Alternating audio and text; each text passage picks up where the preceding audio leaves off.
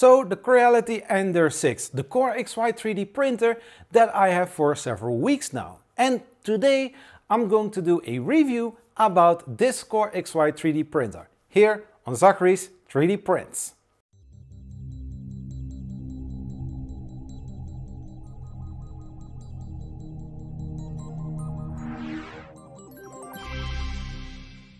Hello, I'm Zachary and this channel is about 3D printing with tips, tricks, tutorials, how to review news, anything 3D printing or 3D printer related you can find right here on this channel. If you're new here and not subscribed yet, please consider subscribing and hit the notification button to get the latest news and updates right in your YouTube alerts. And if you want to have an inside scoop before YouTube, please check me on Twitter Zachary underscore Bergen. And thanks for being here. So the Core XY 3D printer from Creality. A few weeks ago I did a live stream about this 3D printer. After that I did also a video about the slicer profile setting for the Core XY 3D printer because it wasn't covered in Cura and now it is. And also the inner parts because also some people ask for that as well. What do I think about this 3D printer after several weeks of printing and checking and testing?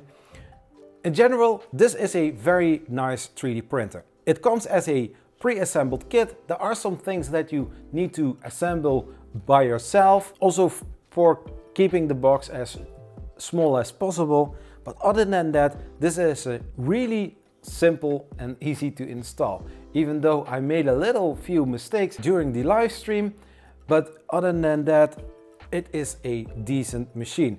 All 2040 aluminum extrusions used, except for the bed. The bed uses 2020 aluminum extrusions. Talking about the bed, the bed has a building volume of 250 times 250 by 400 meters. So you have got a decent printing volume that you can cover with this Core XY 3D printer from Creality.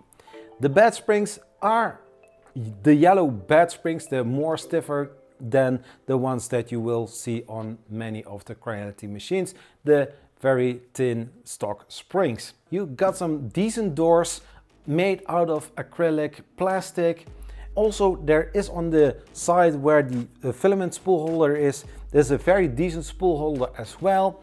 And you have a filament run out sensor standard on this machine. You have a more heavier stepper motor for the extruder and the extruder is double geared.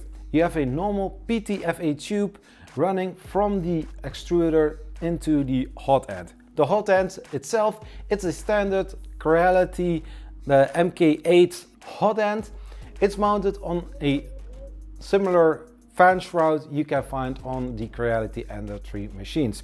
I think this is also the one that you can find on the, or a similar one that you can find on the CR30 as well, but different kind of fan ducts. The Core XY movement is done with a very sturdy, very rigid Core XY gantry. I would call it like that. On both sides you have two sets of four V-slot rollers. Everything is well tightened with the eccentric nuts. Uh, Creality did already do that during the assembly process of them. And yeah, the, the whole bed is moved up and down the Z-axis by the Z-axis stepper motor. I need to mention it's just a single Z-axis lead screw, not a dual Z-axis lead screw. But I think for this volume, it is a very rigid design. I don't have any big movements that I had during my operation with this machine. So the print quality, I am very impressed about the print quality of this machine. You can throw almost everything at this machine and it will do its job. Um, I, encountered, I encountered in the first times, I encountered some little trouble. For that reason, I did a video about the slicer profile, but after that, just some little tweaking like you ha will have on other 3D printers as well. Clean the bed, start printing, make sure that everything is level, and then you get some decent print results. One of the things that I didn't clean up, sounds a little bit weird, um, something that I didn't put away is Tifa. She is colored uh, with some uh, paint. With something like this you have a 400 millimeter Z height, uh, Z height. So why not using it to the full extent and also other things that I really enjoyed about this machine if you are going to print some brackets some 3D printer parts I think with a printing speed of 240 millimeters per second, I think you are very safe to use that kind of printing speed. You can go higher, but you have to fine tune your printer profile settings when going higher in printing speeds. Somebody also asked me, do I, do I have to increase the, uh, the nozzle temperature when printing on, on higher speeds? I'm not sure about that because I was printing the whole time at 210 degrees for the filaments that I used. But if you encounter some problems, then increase it with 10 degrees up and higher. But other than that, you have a very nice touchscreen, a 4.3 inch LCD touchscreen. Uh, on the side, you have a normal SD card. So my final thoughts about this 3D printer from Creality. I think for the price it's a fair, fair price for a machine built this rigid. It's decent, you can lift it up. It's 22 kilograms, you know, and you can expect for that kind of weight that it is well enough built. There are some cheaper Core XY 3D printers, which I didn't test before, but to my opinion, this is a great Core XY 3D printer. So if you want to buy this machine, then I will put some affiliate links in the description of this video so that you can buy it without paying anything extra and that link will support my channel as well. To buy some new upgrades, some new other parts that I can use on this channel as well.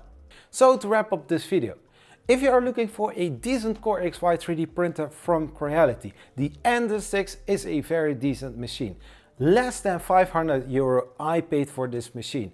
I don't know the price in dollars, but I think if you will look for it, I will put the affiliate links in the description of this video so that you can have a very decent 3D printer for not too big of a price. Of course, feel free to look on the internet on the Ender 6 from Creality and you find maybe some better deals as well.